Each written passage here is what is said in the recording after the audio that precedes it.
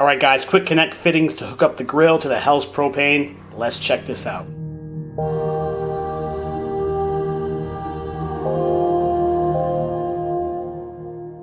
Alright guys, before we get too far into this video, just want to let you know that working with propane can be very dangerous. You have to know what you're doing here. This is what I'm doing.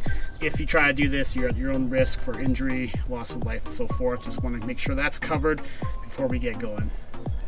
Few months back, I went ahead and put quick connect fittings into our Hell's propane setup here. This is for our generator, but I also want to be able to run other appliances like our grill. Alright guys, so I have my Weber Spirit E310 awesome grill. It's a couple years old. It's in great shape. We take care of it. It takes care of us. So inside this grill here, I'm going to go ahead and install quick connect fittings in between the propane tank and the gas grill fittings. So this is going to allow me to use the propane tank when I want to use it and also hook up the gas grill to the Hell's propane. I'm going to go ahead and use Mr. Heater propane quick connect fittings. These are 3 8 Also have a set of 3 8 flare fittings to 3 8 MPT fittings. Also have a quick connect hose here, male fitting, 3 8 flare. This also comes with the female quick connect right here. And these are going to connect together from one of those adapters, 3 8 MPT to 3 8 flare. Alright guys, so I've gone ahead and disconnected the propane tank and unattached this from the side of the grill gone ahead and taken off that connection that goes to the propane tank. This leaves us with 3 8 flare.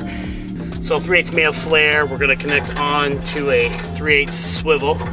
And then 3 8 swivel, we're going to use one of these adapters, flare to 3 8 MPT. All right, and then we're going to go MPT down here into our male quick connect.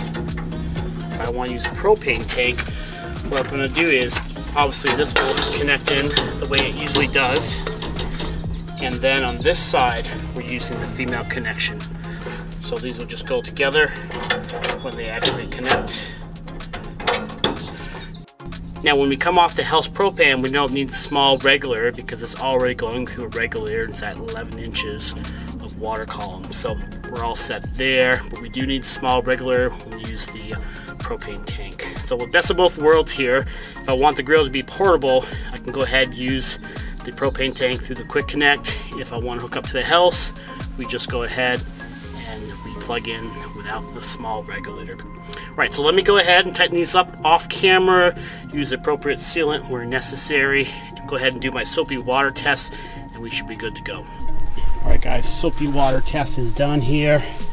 Everything's looking good. Running grill right now. All the burners on high. Not a lot of fuel left in that propane tank. It's almost empty. If I run the grill more off the hill, so probably keep that tank in there to help weigh down the grill. Let's go ahead and hook it up to the Hell's propane over here. Alright, let's go ahead and light this up. Off the Hell's propane.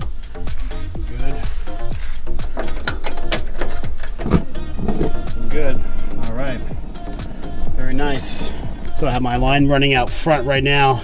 There is actually a place where you can run the gas line to the back the Weber grills. A hole right there. It right back through there. All right, time to quick connect fitting back in. Screw it back into the side of the grill. Alright guys, thanks for checking out this video. I'm psyched about this project. It went really well. Now we have the ability to run off a gas bottle or the house propane.